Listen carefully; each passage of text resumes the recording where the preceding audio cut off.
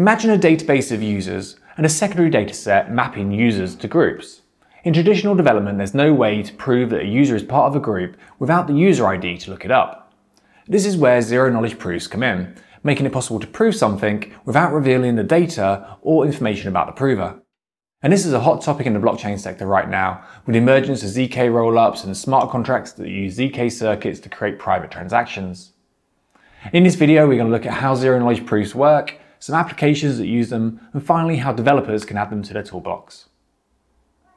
My name is James Bachini. On this channel, I create content about blockchain development and decentralized finance. Interested in learning more, then please subscribe to the channel and hit the like button for YouTube algorithm.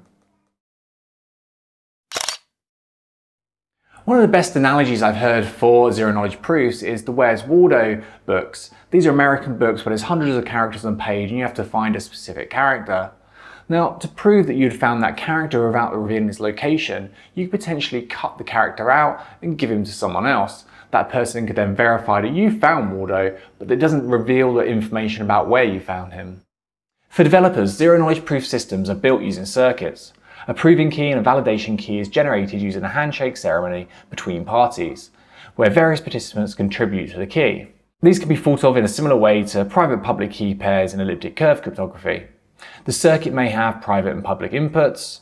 The proving key can then go ahead and create a fraud proof using the private public inputs of the proving key. The fraud proof alongside the public outputs and the public inputs are sent to the verifier and their validation key can assert whether this verification is true or false. The cryptography behind zero-knowledge proofs has been around since the 90s, but it's only really started to gain traction in the last few years because of the blockchain sector and the economic incentive to create new applications using this technology. One of the first things we saw was Zcash, and this was a fork of Bitcoin, but it had the addition of ZK transactions. So there is an option to either do private or public transactions, and the private transactions use zero knowledge proofs to obfuscate who was sending that data. In Bitcoin and other layer one blockchains, it's very open and transparent and you can see where transactions are being sent from A to B. And that can be a feature, but it can also be a bug if you're trying to have more private, secure transactions. In the last couple of years, we've also seen smart contracts start to use zero knowledge proofs. One of the most popular right now is Tornado Cash on Ethereum. And this is a mixer service where people can input uh, funds and then withdraw them anonymously. So it's kind of, it's mixing those funds together and it's obfuscating who sends in funds and who withdraws funds. So if 100 people send in funds and 100 people withdraw funds, there's no way of telling how they are kind of who sent in what and who brought out what and linking that transaction. And that uses zero knowledge proofs in the background. One of the things that I'm most excited about is the emergence of ZK rollups.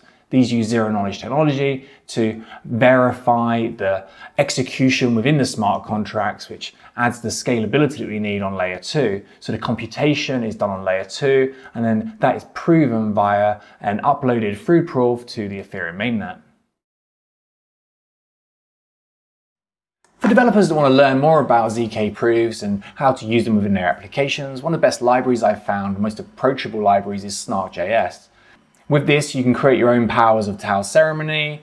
You can then export that to a Circom circuit and ultimately compile it to a key and a WASM file. And you can use this within Node.js or even within the browser. And you can see there's a lot of complexity behind the scenes, but what you're essentially doing is taking the proof and the public signals and turn that into an if-else statement where the verification is either okay or invalid.